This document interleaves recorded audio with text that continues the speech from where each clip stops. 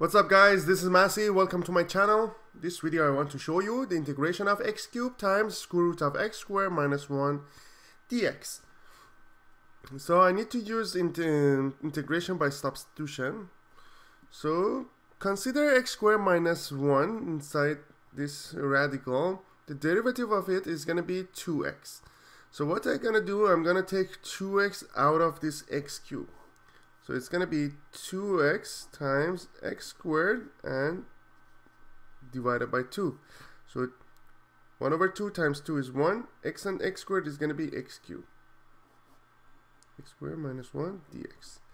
Now I'm going to define u as x squared minus 1. So du will be 2x dx.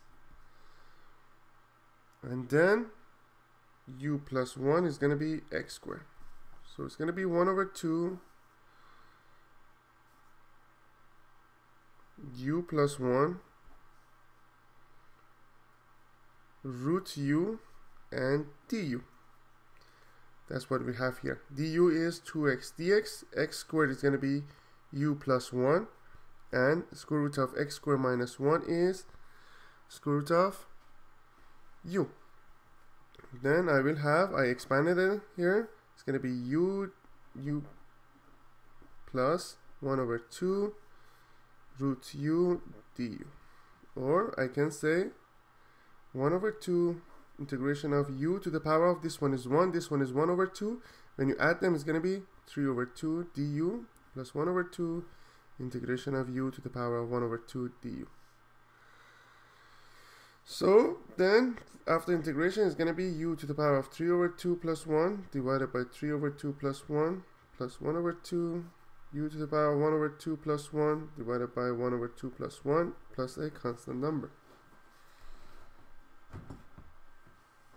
Then it will be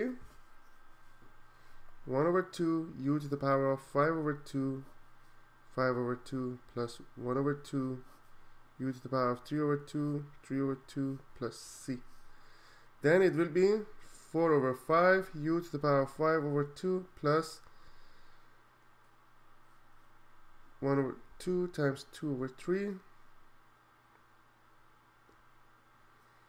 That's actually be 1 over 2 times 2 over 5. 1 over 2 times 2 over 5, yes. And here we have 1 over 2 times 2 over 3. u to the power of 3 over 2 plus c. So these two cancel out. It will be 1 over 5 u to the power of 5 over 2 plus 1 over 3 u to the power of 3 over 2 plus c. So that's going to be the final answer. What I'm going to do, I'm going to change it back again to x squared minus 1. So it will be 1 over 5. u to the power of 5 over 2 is u squared plus square root of u. So it's going to be x squared minus 1 squared root x minus 1 plus 1 over 3 x squared minus 1 root x squared minus 1 plus c. So that's going to be the final answer to this question. Please leave me a comment if you have any question and I'll get back to you as soon as I can.